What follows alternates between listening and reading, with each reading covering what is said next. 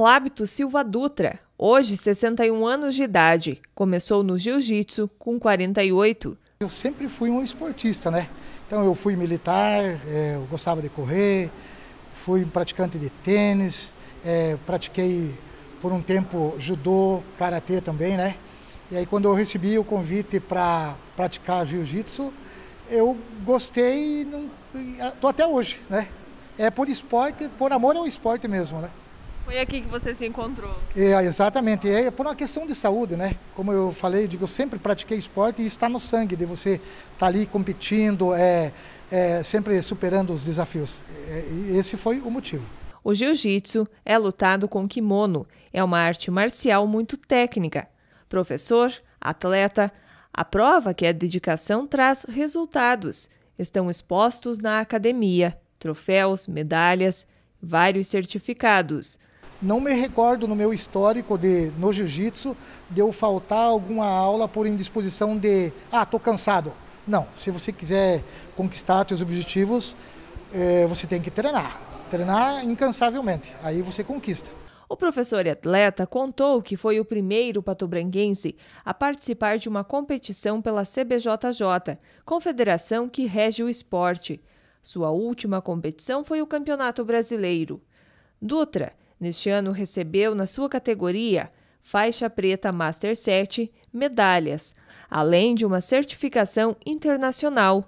Ao longo do, do ano, né, na, com a pandemia, acumula-se os pontos né, da, do ano de 2020 e 2021. Então, a, devido às conquistas que eu tive, o Master Internacional, onde eu fui campeão, categoria e absoluto, no, no brasileiro também categoria absoluto, eu acumulei pontos que me colocou nesses dois anos, 2020 e 2021, no top 3, na minha categoria, Master 7, né? categoria de idade. Eu tenho mais de 60 anos, estou com 61.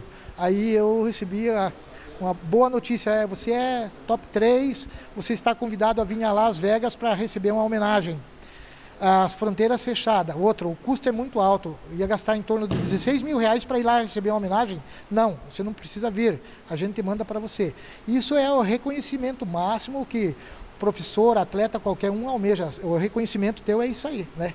O trabalho que você faz é insignificante, mas quando ganha uma homenagem dessa, é sinal que o teu trabalho deu resultado. Cleito Trembulac é advogado há sete anos no jiu-jitsu. Eu nunca fui profissional do futebol, né? Mas a gente fazia aquelas peladas de, de quarta-feira, final de semana, né? E eu acho que qualquer pessoa que pratica de pelada sabe que é sempre tem aquele xingamento, aquela briga, né? De, por mais que de, depois a gente fica todo amigo, né? E só que chegou um momento que me irritou aquilo. E aí é, tinha um amigo até que tá está treinando com nós aqui hoje, né?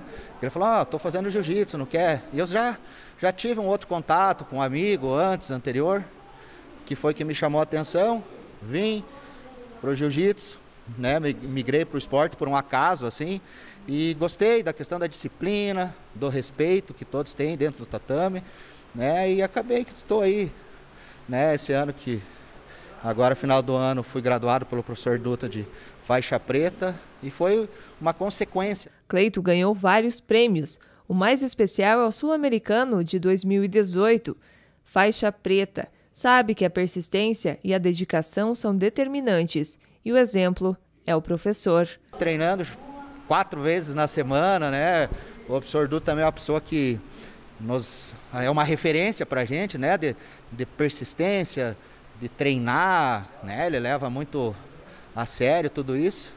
E eu acabei levando para minha vida. As conquistas do grupo crescem na estatística a cada competição. A última que a gente participou agora foi em Camboriú. A gente ah, fomos em 11 atletas e nós viemos com saldo positivo de 20 medalhas. E eu acho que é um bom resultado e é o resultado do trabalho que é feito dia a dia aqui na academia. Dutra pretende continuar o caminho do jiu-jitsu, porque é longo as graduações só chegam com o tempo, com experiência. Segundo ele, ainda tem muito para conquistar. O primeiro objetivo é você é, ir pelas escalas, faixa azul, faixa roxa, marrom, até a preta. Quando você conquista a preta, nossa, eu cheguei no topo. Mas eu, após conquistar A minha faixa, o que, que acontece?